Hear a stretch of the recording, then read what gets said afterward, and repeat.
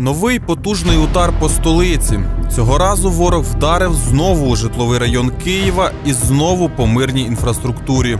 Ціллю ворожого удару став торговий центр. Частина будівель зруйновані повністю, решта зазнали сильних пошкоджень. На парковці поряд з торговим центром вщент знищено більше двох десятків автомобілів. Є жертви серед цивільного населення. Їхня кількість зараз уточнюється.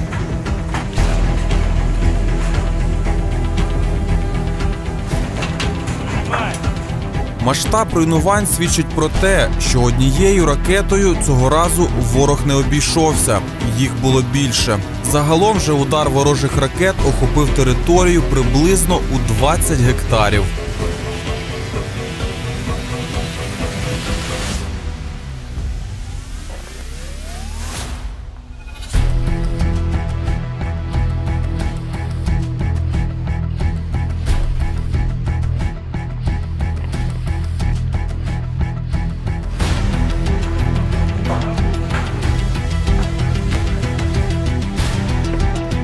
Початку російського вторгнення це, напевно, один з наймасштабніших ударів по столиці. Е, Є жертви серед е, цивільного населення, їхня кількість уточнюється. Е, Зокрема, постраждав і житловий будинок, але найбільше постраждав власне сам торговий центр.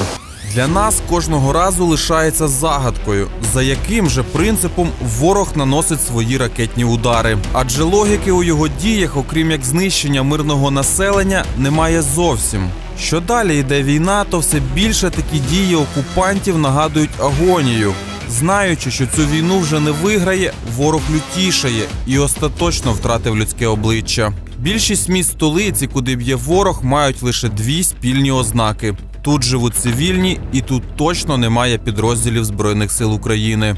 Так і цього разу ущен зруйнований спортивний комплекс, магазини з дитячим одягом, Макдональдс і за злою іронією будівельний магазин мережі, яка, до речі, не збирається йти з російського ринку.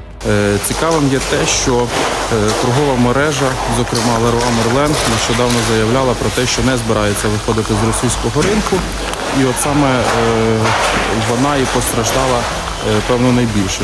Цікава тепер буде їхня думка, власне, після того, як по їхній мережі було завдано ударів російськими ракетами. Ворог, очевидно, думає, що завдаючи ударів по мирному населенню, викличе паніку у нашого народу, зламає його морально. Він глибоко помиляється. Українці вже неодноразово довели свою стійкість і незламність. А подібні удари ворога це тільки додатковий стимул до боротьби і до помсти. І ми не збираємося просто так відпустити раненого звіра, яким є російська армія на українській землі. Наше завдання добити його повністю.